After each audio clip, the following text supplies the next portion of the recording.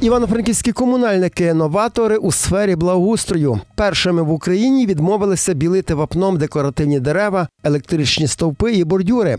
Профільному департаменті стверджують, побілка для краси не має нічого спільного з реальним виконанням благоустрою. Ми вважаємо, що це є марне витрачання ресурсів, коштів в тому числі, тому що замість того, щоб поприбирати, щоб було чисто, двірників, як раніше, змушували дуже часто брати і просто білити ті бордюри.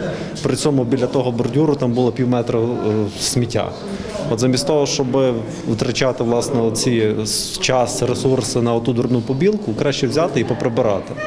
От е, тому ми таку ініціативу висунули. Вапном можна фарбувати лише плодові дерева. У такий спосіб садівники знищують рослинних шкідників. Це єдиний виняток, коли вулична побілка дозволена. Відповідно до оновленої редакції правил благоустрою. У всіх інших випадках комунальним художникам загрожує адміністративний штраф. щоб було на- наоборот гарно, красиво, місто розвивалося і також молодь, щоб участь брала в цьому. Ну і Тобто пофарбування таких бордюрів так, на таке красиве. це красиво, звичайно, для міста, для, для всього.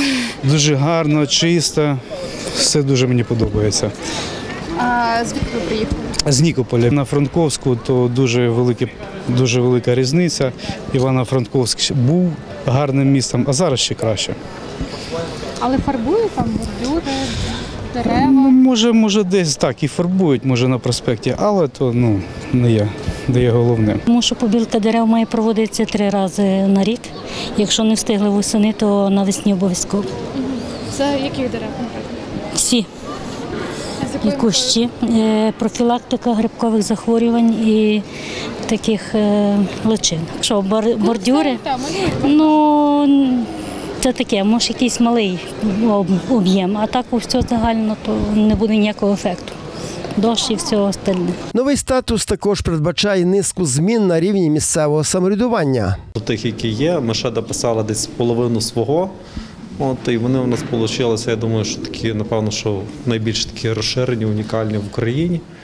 От, там є, наприклад, заборона цирків з тваринами. Тому, ну, в принципі, е, ну, загалом, я знаю, що в багатьох містах, в тому ж Дніпрі, вже такі є прийняті е, такі пункти.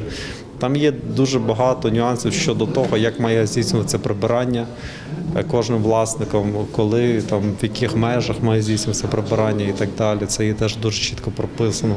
Ну і загалом багато іншого є.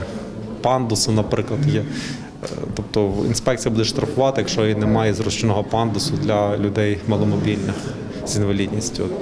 Оновлені правила благоустрою стануть чинними на початку травня, якщо сесія міськради підтримує ініціативу комунальників. Михайло Березень, Віра Лучин, Юрій Храбатин. Новини на вежі.